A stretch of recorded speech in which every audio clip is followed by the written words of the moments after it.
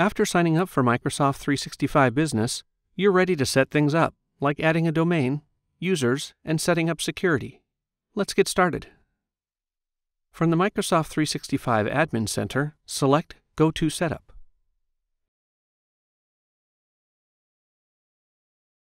If you like, you can install Office apps on your computer now, or just select Continue.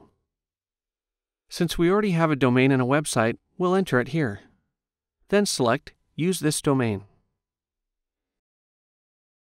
If you use a common registrar like WordPress or GoDaddy, your records will be added automatically on this page. To verify ownership of your domain, select Verify and sign in to your domain registrar account. To let Microsoft add a TXT record for account verification, select Confirm. Add users by entering their first names, last names, and usernames. Then select Add users and assign licenses. Enter alternate email addresses for your users and select Send email and continue. To activate your new DNS records, select Continue.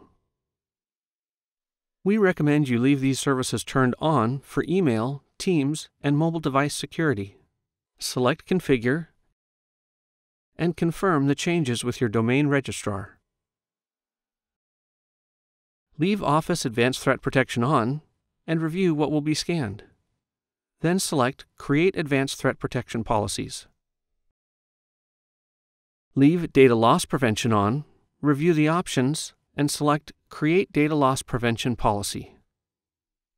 Leave Mobile App Management on, expand the settings to review them, and select Create Mobile App Management Policy. Your setup is complete. We'd appreciate your feedback on the setup process. If you'd like, you can adjust these settings and add more features by selecting Explore Features.